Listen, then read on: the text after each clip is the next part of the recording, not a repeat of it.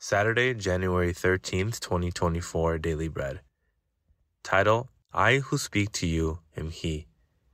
John chapter 4, verses 16 through 30, key verse 26.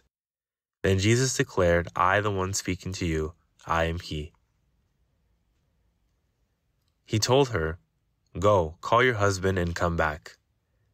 I have no husband, she replied. Jesus said to her, You were right when you say you have no husband. The fact is, you have had five husbands, and the man you now have is not your husband. What you have just said is quite true. Sir, the woman said, I can see that you are a prophet. Our ancestors worshipped on this mountain, but you Jews claim that the place where we must worship is in Jerusalem. Woman, Jesus replied, believe me, a time is coming when you will worship the Father neither on this mountain nor in Jerusalem. You Samaritans worship what you do not know. We worship what we do know, for salvation is from the Jews. Yet a time is coming and has now come when the true worshippers will worship the Father in the Spirit and in truth, for they are the kind of worshippers the Father seeks. God is Spirit, and his worshippers must worship in the Spirit and in truth. The woman said, I know that Messiah, called Christ, is coming. When he comes, he will explain everything to us. Then Jesus declared, I, the one speaking to you, I am he. Just then his disciples returned and were surprised to find him talking with a woman, but no one asked, What do you want, or why are you talking with her? Then, leaving her water jar, the woman went back to the town and said to the people, Come, see a man who told me everything I ever did. Could this be the Messiah? They came out of the town and made their way toward him. Daily Bread. First, Jesus pinpoints the Samaritan woman's problem.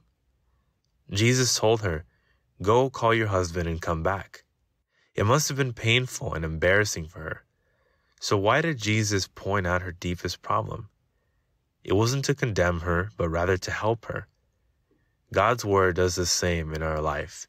It pinpoints our sin helping us to repent and change. Our spiritual growth, though, depends on our attitude and response to God's poking. The woman was honest with Jesus I have no husband. She opened her heart to let Jesus see the truth. We need to do the same. God already knows what's in our heart, but we need to invite Him in with an honest attitude. Let's invite Jesus into our heart to help us see what needs to be changed in our life.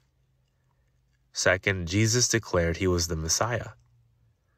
The woman was excitedly waiting for the Messiah, knowing he would bring answers everyone desperately needed. But Jesus said, I am he. In other words, I'm right here. That is how Jesus calls out to us too. We think water from the well will quench our thirst, worldly success, fun, love. But Jesus is sitting right there saying, I'm the answer you're looking for. Are you still diving into the well or diving into a conversation with Jesus? We need to keep building a relationship with God by meditating on His Word, praying, seeking Him until our heart can declare that Jesus is our Messiah. He is everything that we need. Prayer. Lord, help me to be open and honest with you.